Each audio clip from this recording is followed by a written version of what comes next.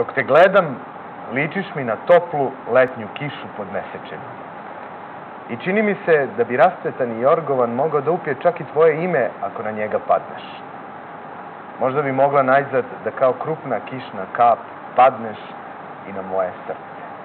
Evo kako si lepo pročitao ovu pesmu, svaka ti čast. Sa nama u studiju je autor ove zbirke pesama e, koja se zove Predjelima moje duše, e, Ljubiša Dinčić. Dobro jutro, dobro nam došao. Dobro jutro, dobrodošao. Ljubiša Dinčić, inače e, muzički umetnik, solista u pozorištu na terazijama Tako je. i autor ovih divnih stihova. Otkud to? E, Ja se prvo nadam da nije rano za, za poeziju, u stvari za poeziju nikad nije kasno. Otkud to? Pa evo, 35 godina pišem poeziju. Kako to obično bio u životu, najlepše stvari se dešavaju sasvim slučajno. Moji kolegi i prijatelji koji znaju da poeziju pišem već dosta dugo, bukvalno su me naterali pre nekih 7-8 meseci da sakupim svoje, svoje pesme i da ih eto stavim u među koricu ove knjige, da? u jednu zbirku ljubavne poezije i mogu reći da su ovaj, reakcije fenomenalne, lepe i eto konačno smo shvatili da ljudi vole poeziju. Nadamo se da ima još tih romantičnih duša i da se poezija rado čita. Pa znate šta, ovaj, e, poezije se slabo čitam, da, da budemo iskreni i, i u knjižarama kažu da se poezija u stvari ne prodaje. Došli smo na tu jednu, jednu situaciju da ljudi ne pokazuju emocije, da, da ko je emotivan i osjećajan, da on je smešan. E, ja sam evo i ovom knjigom poezije želeo da pokažem da se ne treba stideti svojih osjećanja, ne treba se stideti emocija. A, kažem, došli smo u situaciju da ako je čovek osjećajan, e, koža ogrubi i onda ovaj, se nekako svesno branimo e, e, toga da ne bi bili povređeni. Međutim, ako... A bez, osjeća, bez osjećanja nema života. Nema tako? života, Da. znači možemo biti povređeni, ali ljubav je nešto što čoveka oplemenjuje i ako je ako su oči ogledalo duše, poezija je prozor kroz koji ta duša izlazi i očovečuje čoveka. Evo, uh, jednu rečenicu profesora Ljubiše Subotića. Redki su pesnici danas koji su spremni da razgolićuju se do kosti, na dlanu pruže sve ono što ih zapravo i čini čovekom, sobstveno biće, ne tražeći ništa za uspeh. Jeste, jeste.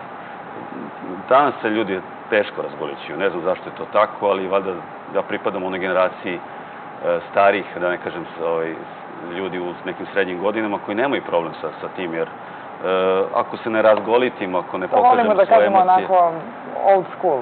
Jeste, old Stara school, škola. jeste, onda od toga nema ništa. Znači, nema ni sreće, nema ljubavi, nema bliskosti, nema poštovanja, nema ničega. A za, zašto je, u čemu je problem s ovim mlađim generacijama? Pa ne znam, valjda ovo vreme u kome živimo, ovo suludo, suludo vreme, ovo brzo gde je sve posvećeno nekim spoljnim stvarima, a ne unutrašnjim, ja to volim da kažem, mi pričamo o fizici, u stvari treba pričati o hemiji. Hemija je ono što čini čoveka i, i, i hemija je ono što međusobno ljude zbližava i, i, i stvara tu bliskost. Ali kako, kako u ovom vremenu kad komuniciramo ne oči u oči, nego putem društvenih mreža? Teško da se pokrene ta hemija, to hoćeš da kažeš? Ne znam, ja imam dve čerke, tinejdžerke i meni je jako teško, verite, da i da sa njima komuniciram i nekako nalazimo taj balans. A eto, one su, kažem, i to doživjela da njihov otac e, izda knjigu poezije i mislim da će godinama, Šta su one rekla? pa č- čudno mi je bilo, znate.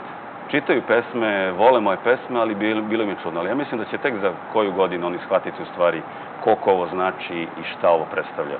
I meni, a njima i verovatno ljudima koji, koji još uvek vole poeziju. Ljubiša, koja vam je, recimo, uh, ajde, pretpostavljam da ne možete možda da izdvojite uh, jednu od svih pesama koje ste napisali, ali šta biste nam pročitali sada u programu? Da pročitam. Pa, na primjer, imam dve pesme, evo, Ljubav nije dovoljna. e, e, Ta pesma je naj, naišla kod mojih prijatelja i kolega na jednu filozofsku raspravu. Znate, ovaj, kad neko kaže ljubav nije dovoljna, vi se zapitate pa kako je moguće da ljubav nije dovoljna. Malo pre smo rekli ljubav pokreće svet, ljubav pokreće čoveka. I meni je vrlo, vrlo Da, mi interesantno... ovde imamo našeg uh, Aleksandra Gajšeka, kolegu, koji vodi emisiju Agape, uh, koja kaže samo nam je ljubav Samo nam je potrebna. ljubav dovoljno, jeste. I eto, kažem, i moja poezija je pokrenula tu raspravu filozofsku među ljudima. Ljudi su se vratno otuđili od svega i kad se zapitaju konačno pa šta je to sa ljubavlju, vratno moja poezija ponuka njih da, da, da dođu do odgovora. Da čujemo. A ja mogu da pročitam pesmu Samoća. Samoća koja je možda teška Ne, ba, za ove... zašto nije ova pesma sad što će? Malo je duže, malo je duže i Nema treba... veze, pročitajte jer smo sad, da, da, taman i mi da prodiskutujemo ako kažete da je izazvala debatu, o, baš bih smo voljeli da je čujemo. Ljubav nije dovoljna. Rekla si mi tiho jedne večeri, znaš, ljubav nije dovoljna.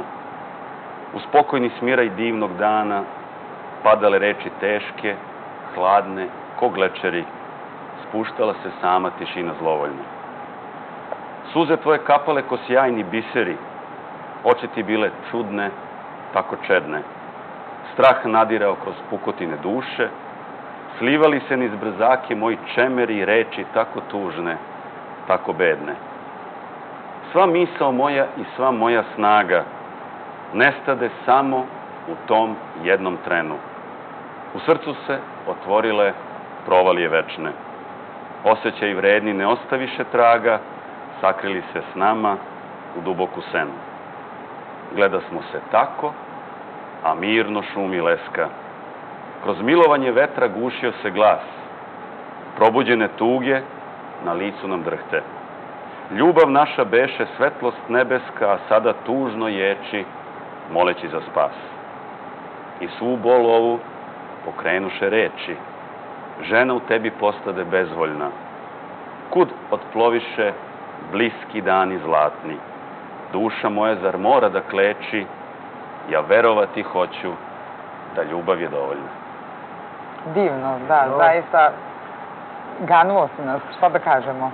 Mogu da, da, da kažem jednu stvar, da su moje pesme takve, možda zato izazivaju takvu reakciju, da su sve istinite, sve su se desile i sve Pa su tako, tako proživljene. zvuči, da. Ovo je stvar jedna autobiografija kroz stihove. Mhm. Pa i sam naslov Predelima moje duše. Yes, yes. A za naše gledalce imamo iznenađenje, delimo tri Tri knjige knjige, ovog jest. jutra, da, ko se prvi javi na 3612 111. Prva tri gledalca Prva tri gledalca dobijaju po jednu po knjigu. jednu knjigu. na 3612-111. Ljubiša, divno, evo samo da pitamo još, je završena sezona u... Jeste, boga mi, sezona koja je bila jako uspešna u pozdravu terazijama. Imali smo premijeru Fantoma iz opere, svetski mega hit koji je to ovaj, doživeo da se nađe na našoj sceni u, u Beogradu. Ovaj, puno gledalaca, puno lepih predstava, jedna, ovo, jedna od najuspešnijih sezona pozdravu terazijama u poslednjih 70 godina, moram priznati. A šta će se pripremati u septembru? To ne sam da vam Ne kažem. ne. Ne sam da vam kažem, I to je sada uvek iznenađenje. sledi leto, odmor, ja? Jeste, boga mi, leto, dva i po meseca odmora. Umetnici to možda ovaj, drugačije percepiraju, neki su možda i ljubomorni na nas što imaju toliki odmor, ali verujte, sezona je bila naporna, puno tu ima stvari koje treba proživeti, doživeti i eto, upravo smo se vratili s tim. razumem. Da. Hvala najbolje, Ljubiša. hvala. Hvala. Takođe, u nastavku